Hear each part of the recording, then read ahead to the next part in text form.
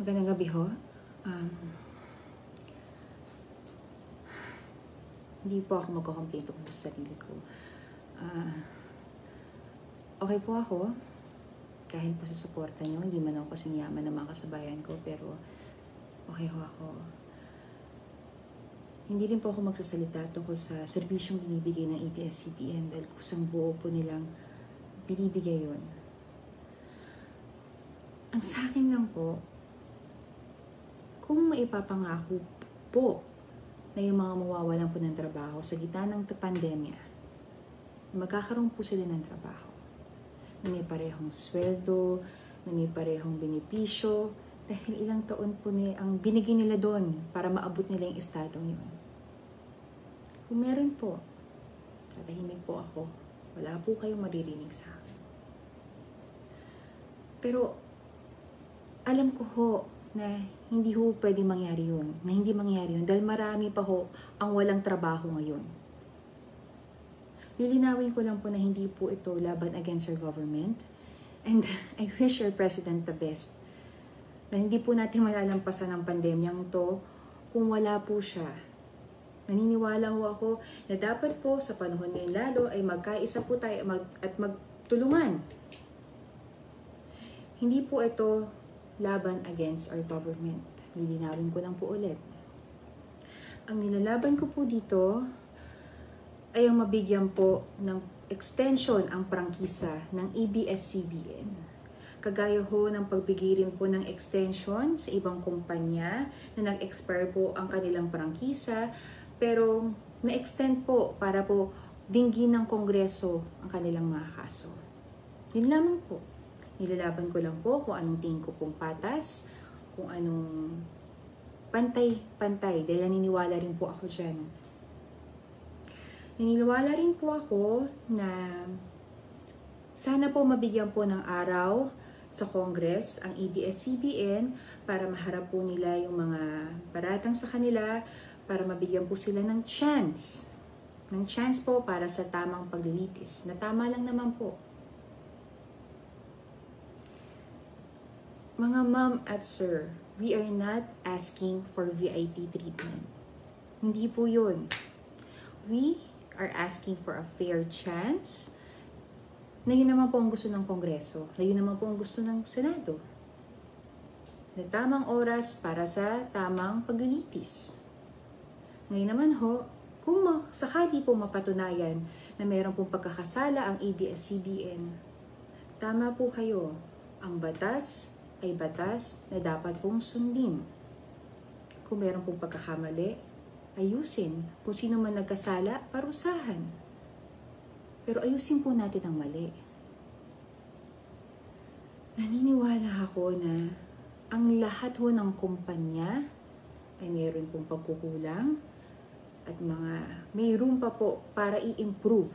Naniniwala po ako dyan. Pabor po ako dyan dahil pabor po yan sa tao lahat po tayo minsan may reklamo na tayo sa mga boss natin eh. Lahat po tayo, mapag-government man yan, maka-private, maliit na kumpanya o malaki, lahat po tayo may reklamo po.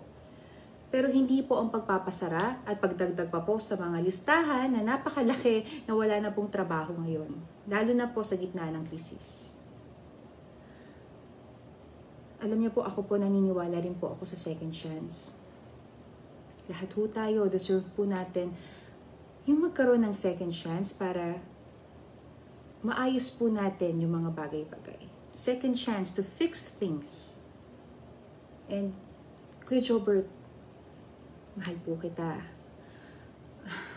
Alam ko ho yung mga naitulong niyo po sa mapangasawa ko, naging mabait po kayo sa akin, pero aminin, aminin po natin pareho na mali po yung pagkakasabi niyo na magpakamatay na lang po si Nadine sa ere. Maliw kayo doon. Pero naniniwala po ako, sir, na sa haba ng panahon na binigay niyo po sa industriyan to, deserve niyo po ang second chance. Sir, tulungan ko po kayo dyan. Kakampi niyo po ako dyan.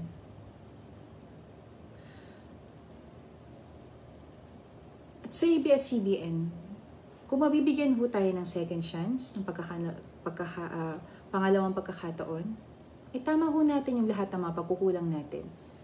Pasalamatan ho natin yung mga tao, yung mga tao na sumuporta sa laban. Mas bigyan po natin ng tamang alaga yung mga nagtatrabaho sa ABS-CBN kasi sila po yung sumuporta sa laban na to. Yung mga irregular na matagal nang nagtatrabaho sa ABS-CBN, irregular po natin. Bigyan po natin ng tamang benepisyo. Bigyan po natin ng magandang buhay ang mga tao. Yung mga um, nangangailangan ng trabaho, total alam na rin naman po natin na pakiramdam na walang trabaho, sana po mabigyan po natin ng trabaho. Yung mga yung mga empleyado na natanggal sa trabaho na matagal na palang lumalaban, alam niyo, kung meron po silang pagkakasala, may pagkukulang sila ng panahon na yun, pati hindi rin po natin bigyan ng second chance. Lahat po tayo nangangailangan ng trabaho ngayon.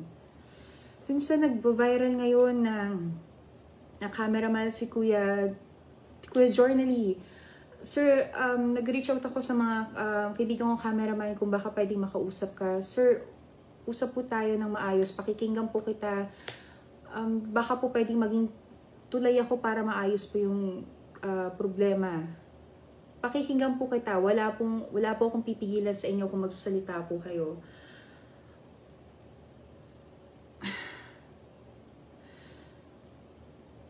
Sa mga sa mga um, nawalan po ng trabaho ngayong panahon ngayon, humihingi po ako ng pasensya at pauminan sa inyo kung ngayon lang po kami nagsalita, ngayon lang kami humarap, at kung wala po kami ng mga panahon na kailangan nyo po ng damay namin, humihingi po ako ng pasensya sa inyo. Ganito po pala yung pakiramdam ng mawalan ng trabaho. I'm very sorry.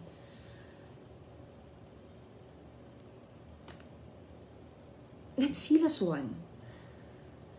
To Soljan Calida, to NTC, how do you expect us to heal as one kung kayo po mismo ang susugat sa amin? Naniniwala ho ako, sir, na marami ho kayo nagawang maganda para ho sa bayan natin. Naniniwala po ako dun. Pero sir, kung tinuloy niyo po itong desisyon na to, kahit na ano pong degree nyo, talino, posisyon, achievements, hindi po yun ang matatandaan ng tao. Matatandaan po nila, and you will go down in history. Bilang kayo po ang taong pumatay sa ABS-CBN at tumuro sa napakaraming tao sa gitna ng pandemya. Yun ho yung matatandaan namin, sir. At huwag niyo pong hayaang mangyari yun.